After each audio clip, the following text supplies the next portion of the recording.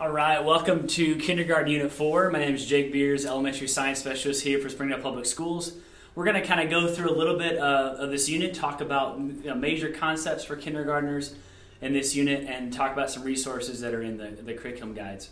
So again, this, this unit is all about uh, interactions between plants and animals and their places they live, their environment. So how do the plants and animals meet their need in their environment where they live? And so, and even why does an animal live in that environment? Why does a dolphin live in the ocean compared to a deer living in a forest? So just these com- simple conversations about our needs, which connects to the previous unit, and then how those needs are met by the environment. And so that's the, the about half of the unit. The other half is how animals and humans can change their environment. And so looking at uh, things like beavers building dams, or uh, even something as simple as squirrels bearing nuts in, in the in the ground, or plants growing up a wall. Just these connections between how uh, animals can change their environment. And then we go a little bit deeper into how humans uh, can have an impact on the environment. So we look at recycling, we look at the Lorax at the end of that, uh, that picture perfect unit. And so we're going to jump in and talk a little bit about this unit. And so we introduce habitats, so forest and the desert, a polar habitat, and the ocean. And so we kind of introduce these ideas of different habitats, and we look at the you know a little bit about what types of animals live there. And so we start by a sort where you give animals, I mean students just a bunch of different animals, and they try and classify where these animals go, and they begin to identify that oh man, like if it's a if it's got fins and flippers, it's going to live in the ocean, right? Um, or if it has uh, if it has fur, it's probably going to live in a polar or the forest region. And so just making connections between even even structures of animals, how they how they how they look, how they feel, uh, to the places that they live. Um, from there, we go into a, a shared research. Uh, a project um, that's about dolphins. Uh, just, the model one's about dolphins, and then students do their own about a, uh, about a simple animal. Um, we then go into how animals change their, their habitats, including humans. Uh, we read some like the book The Little House. Uh, we read books like as an oak tree grows. There's books uh, like Animals at Home, and then before that, we read that this book, Welcome Home Bear, to connect to the habitats. But again, we, then we look at how animals change their habitats. So beavers, and then this book, Welcome uh, the Little House, are the two places we look at humans and animals changing their habitats.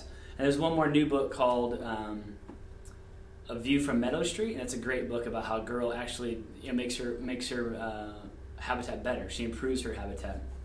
Then we go into a picture perfect unit called Be a Friend of Trees. We, read, we begin with a read aloud called Our Friend Steve.